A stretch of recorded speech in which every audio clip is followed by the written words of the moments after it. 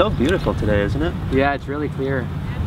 So glad we have a chance to get away from the books and just, you know, come to the riverfront. Yeah, the weather is so nice. It's like the perfect weather for some muffins. You brought your famous muffins? I did. I baked you some muffins. They're so good. I baked them this morning. Oh wow. Mhm. Thanks, bro. These don't have nuts in them, do they? Of course, not. I know you're allergic to nuts. Dude, these look so delicious. Mm.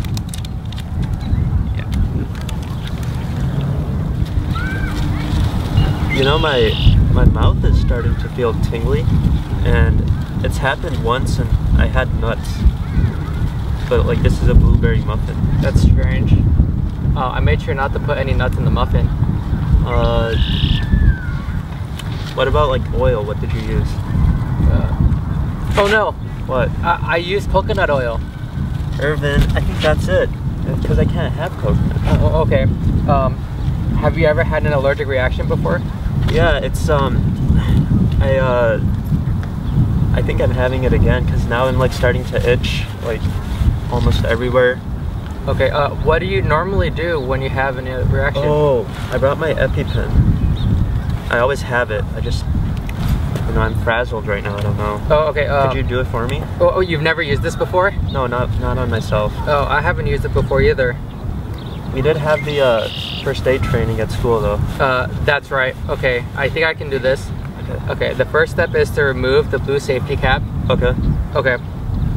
Um, You know, I'm my my throat's getting tight. oh, uh, okay, I'll try to speed it up. Um, okay, I'll, I'll make sure not to put my thumb at the tip so I don't stab myself. Okay. Okay. Um, and it says here to push the orange tip firmly against the outer thigh for 10 seconds. That sounds good. Okay. uh, okay, I'm a little nervous. No, it's just let's do it. Let's, Uh, okay, okay, are you ready? yeah, I'm ready. Okay.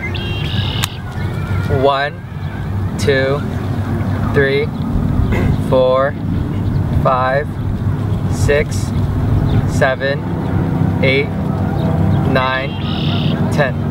Okay. Um, and it says here you need to rub your thigh for 10 seconds. Just like that. Just like that, that's perfect. Okay. Um, I'm still like I'm feeling lightheaded though. I don't know. Oh, you should you should lie down. Here, let me help you. You can lie against my backpack.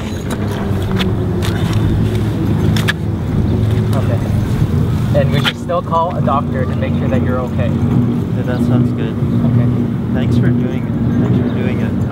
Uh, hello 911. Yes, uh, my friend is having an al- allergic reaction. Uh, we're at the Detroit waterfront.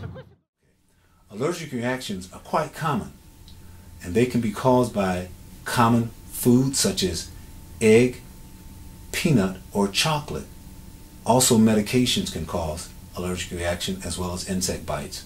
The important point of any allergic reaction is to immediately distinguish if it is a mild allergic reaction versus a severe allergic reaction. For a mild allergic reaction, the symptoms can be runny nose, itching of the skin, as well as hives. In that situation, it will suffice to treat that with Benadryl.